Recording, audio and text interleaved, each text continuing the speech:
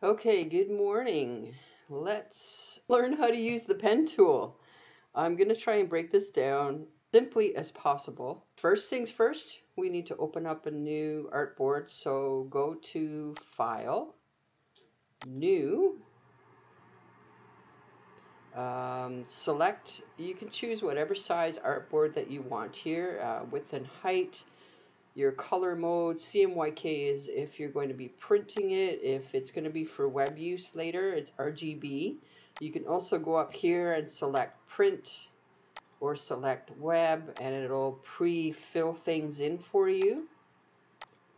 I like to use inches as my measurement when I'm doing something for printing. So I'm going to go to inches and then the orientation, you can select portrait mode or landscape. Let's do landscape. Once you're happy with that, then you click OK. And here's your artboard. A couple really simple things to learn when you're first opening up. Down here in the bottom left hand corner is a simple way to get your artboard onto your screen. So if you end up getting lost and you're way over here and you can't find your artboard anymore, you just use this little guy here, fit on screen, and poop, it'll pop you right back in here. Okay, so your pen tool, now depending on what version of Illustrator you're using, it might look a little bit different, it might be in a different spot, but generally most of your tools are going to be here on the left hand side. And then your extra tools for all kinds of extra cool stuff will be over here on the right. If you don't have this toolbar on the right, that's because you haven't gone in here yet to Window and selected the various things that you want to see. So this is what I like to have up. I'd like to have my brushes, color, swatches, gradient, layers, pathfinder, appearance, character, paragraph, open type, stroke, transparencies, glyphs, symbols, and transform. Those are all kind of the workhorse um, commands that you'll use when you're using Illustrator. If there's something that you can't find, it's probably because it's in here and you haven't opened it up yet. You can also find tools in these drop downs various tools listed here. The ones that aren't highlighted are because you don't have anything open right now that you can do those commands to. Font. Depending on how many fonts you have on your computer, the fonts will show up here. I find this, um, it could be because of my version, um, is really not helpful because it's so small, it's so hard to read. I've actually made lists uh, for myself of the fonts. Select. Here's some effects that you can also add. View is everything that you thought it should be. Show rulers is handy. You can have your rulers here. If you ever open up show rulers and the zero is not at the top corner of your page, like see here on the left hand side, this ruler is not lined up. You just click in that corner and drag and now your rules are lined up. See there? If you want to draw a line across for a rule, and this line is not going to print, this is just for your use, you click and drag and set up, say I wanted something at the one inch mark, and there is a guide. And this guide is not going to print unless you tell it to print over here. this is just for your use. So this is great if you want to center something on a page, you find the center, etc. If you don't want to see those guides, then you go to glue, uh, View, Guides, and Hide Guides. What we want to do is learn how to use this little tool over here, which is the pen tool. And if you click on this and hold, you'll see a flyout menu. And this menu has a pen tool, it has an add, anchor tool. It has a delete anchor tool and it has a convert anchor tool. And I'll be looking at all of those various ones today. So before we even place an image on here, let's just play around with the pen. so click on your pen so it's active. Your your uh, icon will now turn into like a little pen icon. So if you wanted to draw a straight line, you would just click for your first point and click for your second point. So when you're using the pen tool, think of it as you're adding points at the areas where the line changes direction. So for example, if I wanted to draw a square, I would go, this is my corner here, this is my corner here,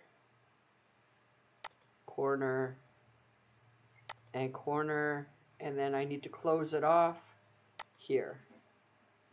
Okay, so I got a square here. And if I want to know um, what colors I'm using, you can either use your flyout over here, and this shows that you've got the inside, the fill. If you hover over something, it'll actually tell you what it is. So if you hover over this, you can see it says fill is white, and then here, click to activate, it says, and this is black.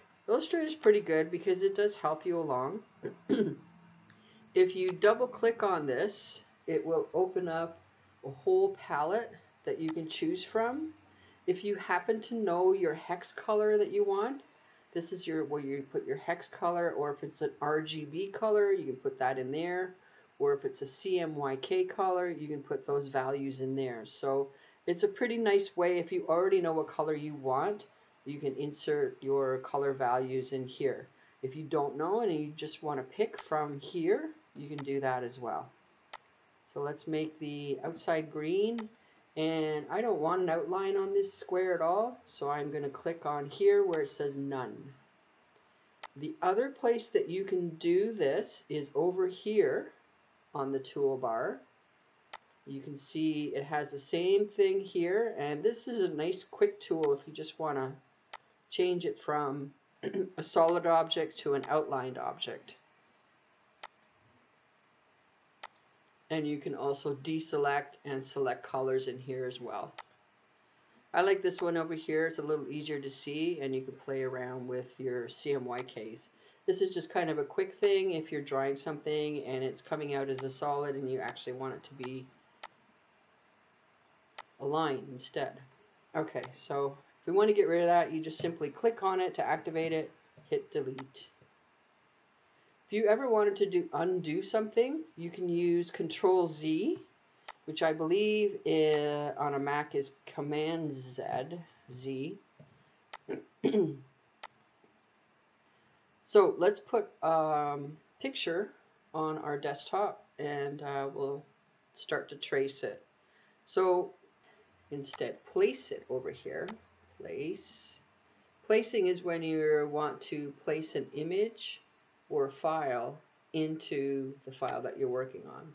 I select my picture and then I hit, there we go. Let's close this because Illustrator sometimes has a conniption if you have two things open. So again, we've got this bigger than our screen. So let's go in here to our artboard, double click, and then go to fit on screen and there we go. Now it's the same size as our artboard okay so click on your picture. It will show you up here that you've got a linked file. It'll show you the name of the file. It'll show you the color profile that the file is created in which is which is RGB which is usually for web. So I want to lock this. So I'm going to hit object lock selection so now I, I can't do anything to it. It won't let me move it. It won't let me click on it. This is important to know because sometimes when you open up a file in Illustrator, whoever's worked on it previously has locked layers and you can unlock them either by going to Object Unlock All or going to your layers and you can see there's a little lock there. You can unlock it from here as well. There's two different ways to unlock it. And actually you can lock it over here too. Alright. Tracing. Select your pen. Make sure your pen tool is active. And it doesn't really matter where you start to trace. I like to start on a more of a straight edge. Let's zoom in a little bit. I want to go in a little closer to this guy. Go here. Click on a point. There's my first point. And then I'm going to select another line. And I'm going to click hold and drag. So I have these handles coming out. Click, hold and drag to the next one. Now you see how I've got, this is showing a, a fill instead of a line. I want to switch that around. Click, hold and drag. Click, hold and drag. So you basically, you're just selecting points where the line changes direction and you want to click, hold, and drag. When there's a sharp angle, sometimes I won't do the, the drag part, I'll just do a click. And I'll show you why once we get to the editing part. So this is just finding that outline, click, hold, and drag all the way around. I'm going to try and do this as quickly as possible so we're not wasting a whole lot of time here.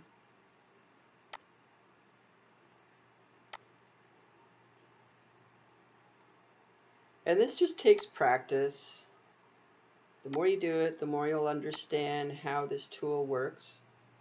It's like anything, practice, right? Practice builds confidence, builds competence. Going down the head part. I'm going to get this little swooshy thing in the mane. So we'll do that. We'll come back here. Swooshy of the back. here, go too far.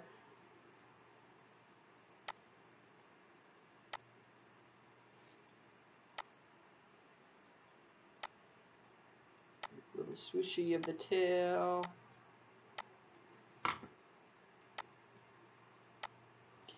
And it's hard to see from this distance exactly how close we're getting to the line, so we'll look at that when we zoom in. My initial tracing is usually pretty rough. We're just getting all the basics in.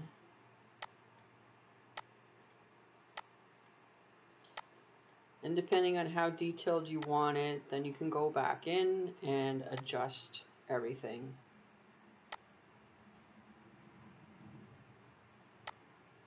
Here, down the legs, around. And then make sure you find your first point when you're finishing off and click into that to make sure that it's a joined object. Sometimes if you're this far away looking at it, you can miss it. The way to check is just to go here, let's reverse it. There's a basic outline. That's actually a pretty good outline. And if you're just doing a rough silhouette that you just want to put onto something, I would say that that's pretty good. If you want to really get into the detail, then use your zoom tool. Go right in close. And let's take a look and we can make some adjustments.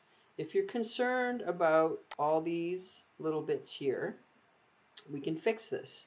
So here's the thing you've got two arrows. One is a selection tool, which is the dark arrow, arrow, and you can find that one if you're somewhere else. Say I'm on my paintbrush and I want that tool. Well, for me, it's just V and A. V is the selection tool. A is your direct selection tool. So the difference between them, the, the direct selection tool Think of it as it's sort of more a fine pointer. So you can select individual points and you and move them around individually. See, I can move this anywhere I want to. I can move it up here. And then I can also use this tool to adjust the handles. And the handles, of course, will adjust the angle. Let's go in really close here. I'm going to show you something. So here's my anchor. I'm going to put the anchor at the top of this point. And it kind of dips in here and dips in here, but I don't have another point that I can pull down into that direction. So, in that case, you hit your plus, and that will turn your pen into um, the Add Anchor tool. Sorry, I actually don't know the names of these because it's so second uh, nature to me sometimes that I don't even think of it. So I'm going to add on my line another direction point. Go back to my A tool, which is my direct selection. Find that point right here. Click and drag it over to where I want. See now what I did is I created an arc and I can adjust that arc and I can adjust here. If you're finding that you're fighting with this, because this just wants to be a straight line all the time, it wants to, this handle and that handle want to stay parallel to each other. But if you don't want that, then you go to your Convert Anchor Point tool, which you can also get to by hitting Shift C or Command C, I think, in a Mac. And see this one now, now I can move this handle independently of this other one up here. Where before, if I'm just using my direct tool, yeah, see we broke it apart, right? As soon as you do that, it breaks it apart. So now I can add, if I wanted more detail in here, let's add another point. Hit my A so I can move this one. And this moved this, see, because these is together. So now I want to move it back, okay? So the more points you add, the more detail you can get, but it also is going to add to your work as well. So it depends on what it is that you want to achieve for that particular drawing. Go over here. There's a dip here, and I don't know, do I have a, there we go, there's an anchor here. Let's move this anchor into the dip. Ah, so see what I did? I actually moved my picture. I forgot to tell you to lock your picture. So let's go back to fit on screen. See my picture is unlocked. Control Z is undo. I think it's Command Z. So if you ever do anything and you didn't meant to do that, just undo it. You can also go to edit and you can undo or redo things in here. So I want to lock this picture so it's not moving around while I'm playing with my drawing. So go to Object and Lock Selection. There we go. Now if you can't see, I, I made this line green. If you can't see the color that your line is, just change the color of the line. Can we see the white? We can see the white a little bit better. Let's make it um, this blue. How about pink?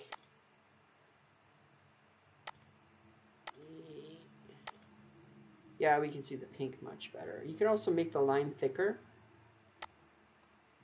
But I'm going to zoom back in again. Let's go down here.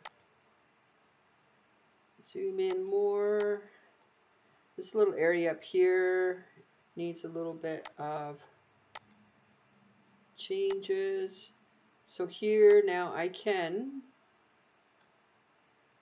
push that all the way in and that'll move that line this here I can change see I can change the angle here but it changes both angles. This one move it in a little bit. This one here I'm going to actually move that all the way in and see now it's more of a sharper turn. This one's already a sharper turn. We're missing a bit of his lip here. And then I think I might want to add, let's go in closer so we can see. May want to add, let's add a point here. Go to my direct selection tool and then I can move it in. So, I mean, you can get as fussy as you want on these. In general, I find if you're just going to be doing silhouettes with these drawings, it all depends on how much detail you want to include in your silhouette. So this one here, bring it down, over. There's like a little divot thing in here, so let's add move this down first. Add an anchor and move it in. We can adjust this one here. There we go. Let's add an anchor over here as well. So just hit your plus on your keyboard and then your A for your direct select. Move that in.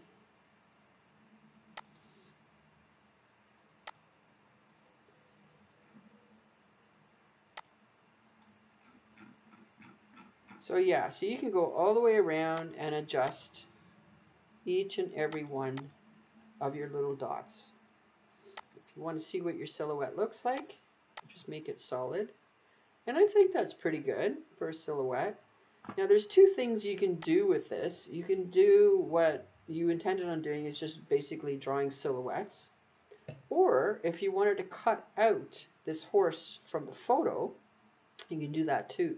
So you have to make sure now that you unlock that photo. We locked it before. That once you lock something, you can't do anything to it. So if you're trying to do something to a picture and you don't know why it's not working, it's probably because you still have it locked. okay, so now if you want to cut out that shape from the photo, what it's called is called, it's called a clipping mask. So in order to do a clipping mask, you need to select both of these objects. So this is your silhouette object. This is your photo here.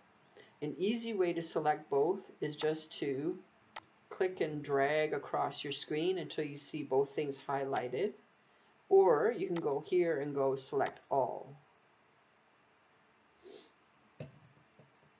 On Windows, you can right click and a little flyout menu will show up. It'll say make clipping mask or you can go to object and clipping mask is also there as an option make. So if you hit make there you go. Now you've got your horse cut out.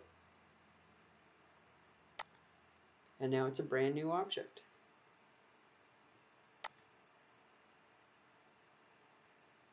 And then you can use this on anything really. Now if you wanted to save this for printing If you want to keep it as a vector file, you would just save it as Illustrator or PDF. So you go File, Save as Illustrator and give it a name, or you can go Save as PDF and give it a name. Which I recommend if you think you're going to be using that silhouette over and over, keep your vector files. Vector files don't take up a lot of room. They're really, really small. So don't worry about uh, using up room on your computer for that. If you want to now take this and make it into something that you can print onto, uh, say, a bag or whatever, you can go to File, Save for Web and Devices. Okay, and then this comes up, and I like to see what I'm doing, so I go over here in the bottom left, Fit on Screen, and then over here on the right, you can choose GIF, you can choose JPEG, you can choose PNG, and there's two different PNGs. I usually just use PNG 8 because it'll simplify down the colors. PNG will give you a transparent background, which is ideal if you only want this object to show up. If you want it to have a white background, then choose JPEG, and the white background will be the size of your artboard. So if you don't want the white background to be that big, you come out of here, and then you can go back in and you can resize your artboard. Try not to cut his ears off. Actually, I think it's a girl. Okay, file. Fit on screen. There we go. Now we've got less white space around there. We're going to save it as a PNG. Hit save. Find where you're saving it. Give it a name. And there you go. And that's it. It's pretty basic, pretty easy. Um, the pen tool is neat. You can do freeform drawing, all sorts of weird little things. This doesn't have any color on it right now, so that's why you can't see it. Let's give it a line. So yeah, so, I mean, you can do all sorts of stuff with your pen tool. If I wanted to uh, take the mask off. That's again, that's pretty easy. You can either right click release clipping mask or you can go to object clipping mask release and it'll take that off. You can get rid of your picture completely and there's just the silhouette left and your outline. Now I knew there was a silhouette there, but if you ever get to this point where you know that there's something there but you can't find it, you can also go to View, Outline, and it will show you everything that's on your artboard. And this is a great tool that very few designers use, but they should use it because it will help them to clean up their artboard. So many times I open up somebody else's art and they have all kinds of crap all around the outside of it that they just left there because they were too lazy to get rid of it. So this shows you everything that you've got that you may not be able to see. So you can do outline, you can do preview, uh, overprint preview, pixel preview. All those are just ways of viewing your artboard. This is solid. So there you go. That is the basics of using your pen tool.